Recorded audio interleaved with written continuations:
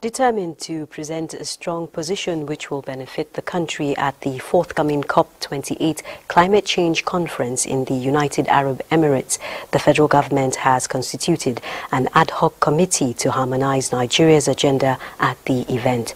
State House correspondent Abdurrahman Jibrila reports that the Vice President Kashim Shettima has tasked the committee to come up with a roadmap which will enable Nigeria fully benefit from its participation at the conference.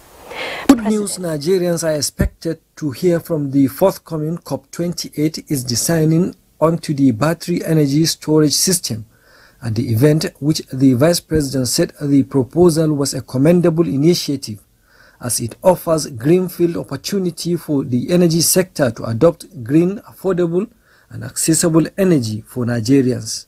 The signing onto the Battery Energy Storage System Consortium, Vice President Kashim Shettima said is part of strategies to get the technical assistance and funding opportunities. The main target is that we are trying to now have an energy, uh, put an energy in the grid that will now have uh, lights almost that we are now going to now see power failure as a thing.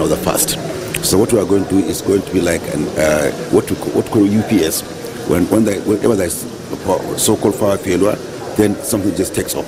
So in, in, in essence, there will not be any power failure again once this is, is, is, is done.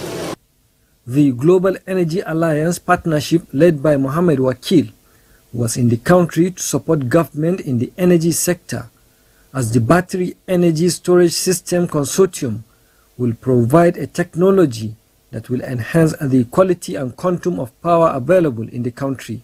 And with the signing of the MOU with the consortium, Nigeria will be able to collaborate with other institutions such as the Africa Development Bank and other stakeholders to transform the country's energy sector. From the State House, Abdurrahman Jibrila,